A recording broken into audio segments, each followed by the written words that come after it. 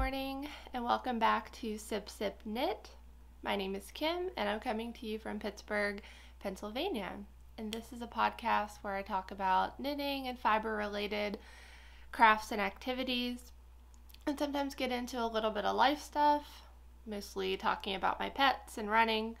But thank you for tuning in and thank you for watching.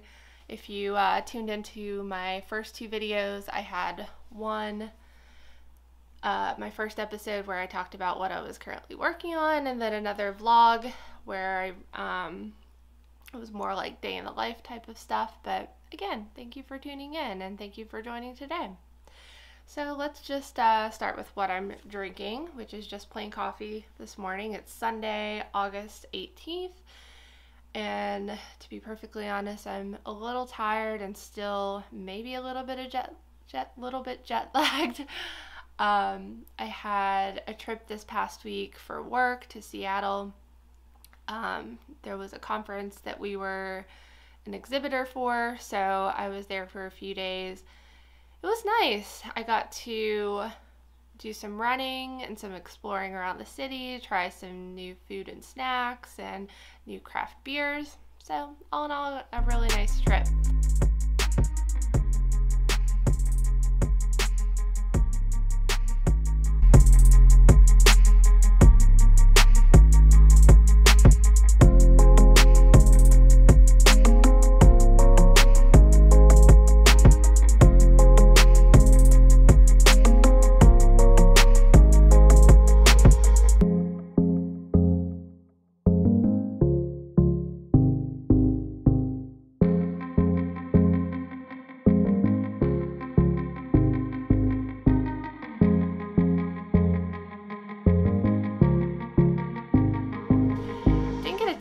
Knitting done during the trip except on the plane, but sometimes it's just like that.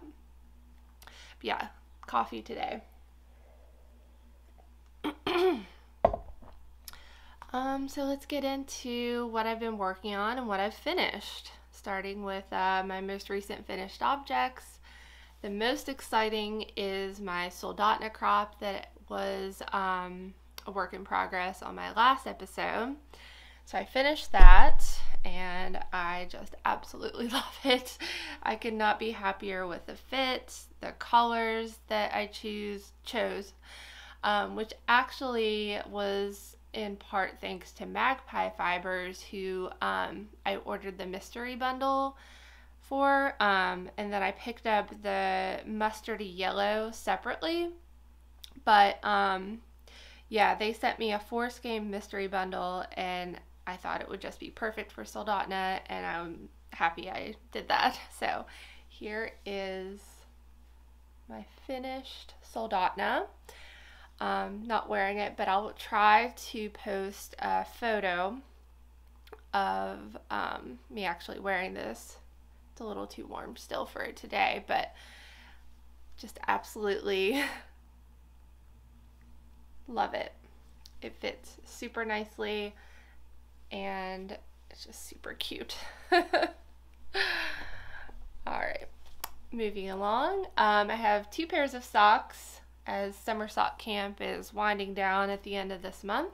But I have two pairs um, that I've recently finished. I think I was still working on these in the last episode. These are knit out of Ex Libris fibers, the Mrs. Dalloway colorway and I used Sock Witchery's String of Lights pattern, which is just perfect when you want um, something kind of vanilla and relatively mindless, but still get a little bit of texture and interest. So these were also, in addition to Summer Sock Camp, Yarns by Design, a local knit shop here um, outside of Pittsburgh, Pennsylvania. They're located in Oakmont, a very cute little small town just northeast of the city. Um, Yarns by Design hosted a knit along with Ex Libris Fibers. So if you purchased the yarn in the shop and knit a pair of socks through the month of July and finished and submitted them, you were entered for a raffle. I unfortunately didn't win, but my friend Jenna won and she got some Ex Libris yarn, and some other goodies. So, congrats, Jenna, on winning the Yarns by Design Ex Libris knit along. And secondly, I have these socks. I put them on blockers because with the Knit 2 Purl 2 ribbing, they look a little funky off the blockers to be honest, but they fit so well. The ribbing just gives them a nice snug stretchy fit. But um, I use the DRK Everyday Socks pattern, um, including the Fleegle heel, which I really enjoy. Um, it's a really nice way to do toe up and not have to do like a cut in or afterthought or peasant heel. heel Cause for me, they don't really fit quite as nicely. Um, but yeah, I used To The Max yarn, a sock set that my friend Lindsay had gotten me for Christmas, and really like, really like these. It came with this uh, bright blue mini, which I think is a really nice coordinating contrast color. So that's all for finished objects. I'll show you a few of my WIPs. I have six I think, currently, but I think I'm only going to show you three. Um, I'm still working on my friend Tony's Doctor Who scarf, but I only got a couple of stripes done. I've been really slacking on that, so sorry, Tony. I will get it done before it gets cold. But, um, yeah, not too much to show as far as progress there, so I didn't even bring it over. I have a pair of socks that's randomly in some car. They're like my car knitting, so I didn't bring those in. And I still have my Vertices Unite shawl that's been in timeout for a while. So nothing to show there. But my three current WIPs, I have two socks. One is um, a pattern by Summer Lee called the broken rope sock. So you have a broken rib, like alternating between knit and knit one, purl one. And then I'm just started the, well, I did the heel flap, heel turn, and I'm working on the gusset right now. And knitting these on magic loop and using Knit Picks tweed stroll. Knit Picks stroll tweed. So the yarn kind of has this like rustic look, I think because of the tweed, but it's actually really soft. So I'm going to try to get this and my other couple of pairs of socks done by the end of the month so they can be um, entered for summer sock camp prizes. So um, next sock WIP is the Curio Socks by Andrea Mowry. I have one sock finished that was um, actually started and completed during the Seattle trip all plain knitting. but um, yeah, it's not, it looks a little weird because it needs to really be blocked out.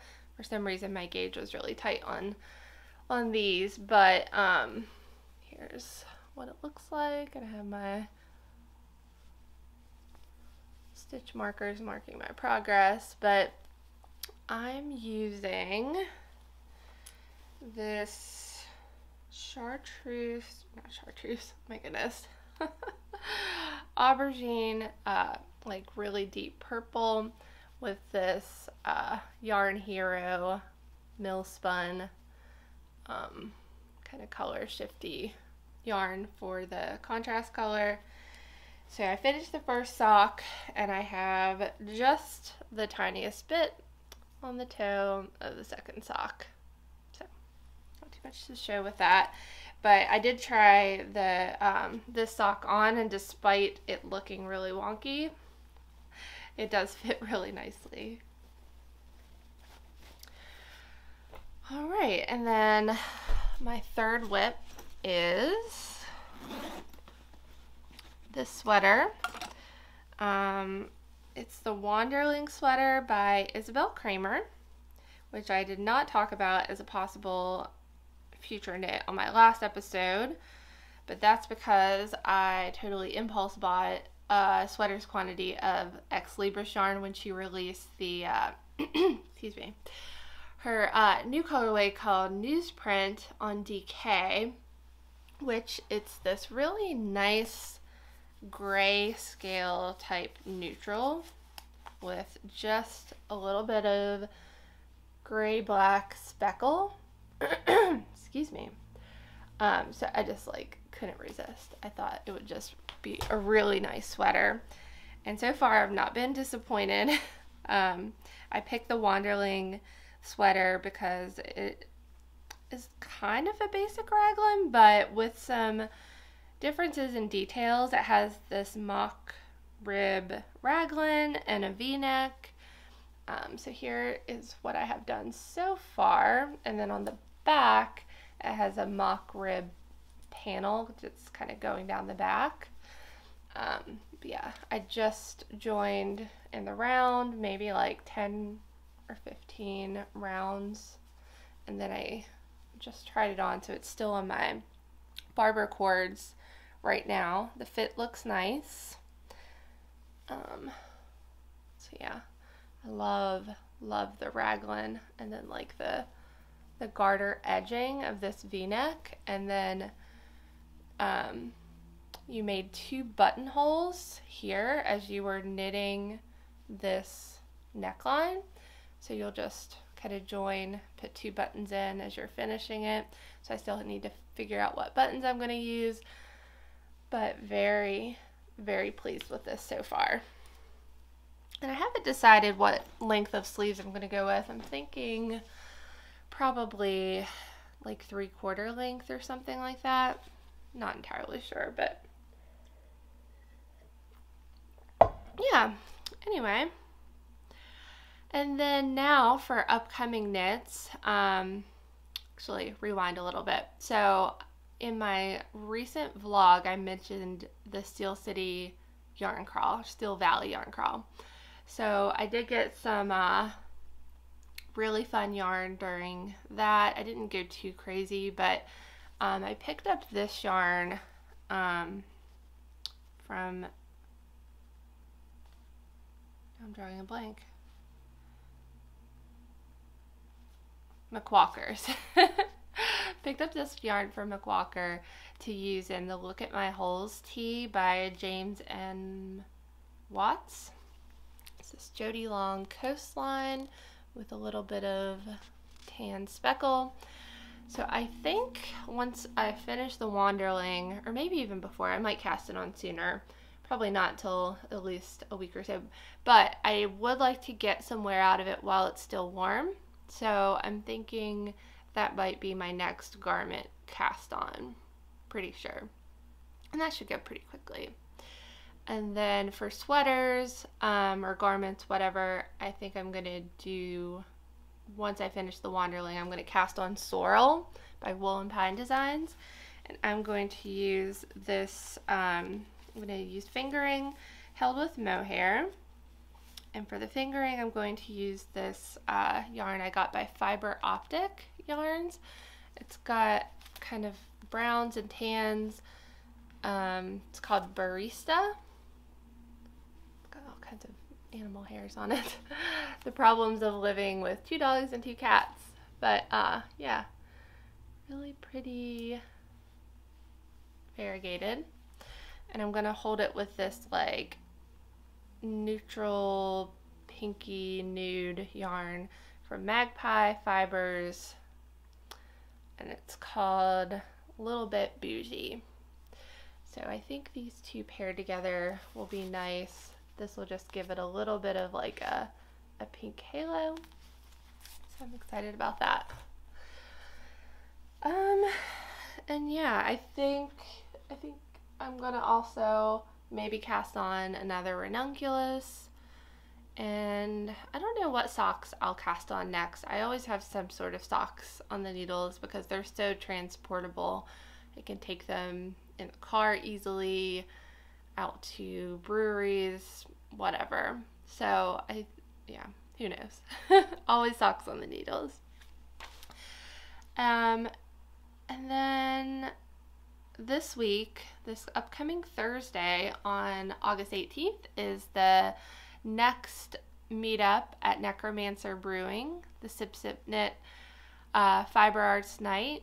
You don't have to come in, you don't have to be a knitter. You can bring anything to work on, or if you just want to learn and figure out if you want to get into knitting, crocheting, spinning, you could talk to some other makers and they can give you some tips or maybe even some uh, guidance on how to get started. Um, but yeah, it's from 6 p.m. to 8 p.m. Necromancer, Necromancer Brewing here in uh, the North Hills of Pittsburgh. It's located on Babcock Boulevard, not too far outside of the city. It's maybe a 10 minute drive from downtown. But it's a really nice uh, space. The, uh, the company um, is really great. Love the bartenders. It's a really nice community of uh, people that run it and regulars that go there often. My partner and I are there probably at least once a week, but um, love the place and I hope uh, to see some of you all there if you're from the local area to come and hang out. Um, last time, the July one, I believe, was on the 20, 28th, something like that. But we had seven or eight people that came and hung out, and it was a good time as usual. Um, I showed some of that on the vlog, I believe. Um, so maybe I'll try to get some more some more content from that. Chat with some people and um, yeah, we'll see what happens. But yeah, as far as the rest of the weekend, um, I think after this I'm going to go for a walk with Luna over to the park we live very close to Riverview Park, a very highly underrated city park in Pittsburgh. Beautiful, has a really nice observatory um, at the top of the hill, a nice off leash dog area, and lots and lots of um, trails, like dirt wooded trails that I do a lot of my trail running on and dog walking on. And then I'm going to meet my friend Jenna at Voodoo Brewing. We're gonna hang out and knit and chill and catch up. But yeah, I think that's all I have to chat about today. It was a very quick episode. I didn't even have any pets that came and say said hi today. Very quiet, very quiet morning around here. Everyone's napping. Lazy vibe around here. Um, as far as other life stuff, I'm going to be spending a bit of time in West Virginia in the upcoming months, or upcoming month, I guess. Um, helping out with some things with my family, so I might be recording from there a little bit here and there. But, um, yeah anyway, I think that's all I have to chat about. I'm going to uh, put my feet up and maybe get a few rounds in on my sweater and then go for that walk. So, thanks for tuning in. Again, I really appreciate it. And um, I'd love to connect through the comments too. I know that some of you left comments on my last video, and it was really cool. Um, getting the feedback and also finding out that I'm not the only person that is interested in both knitting and trail running. A nice like crossover. Um, it got me thinking that I can see how people that knit are into trail running and vice versa, just with the, the meditative quality it sometimes has. Um, yeah, I can see why people would be interested in both if you're a certain type of personality like mine. anyway, I'm to go uh, put my stuff away and enjoy the rest of my weekend. I hope you do too. Bye bye.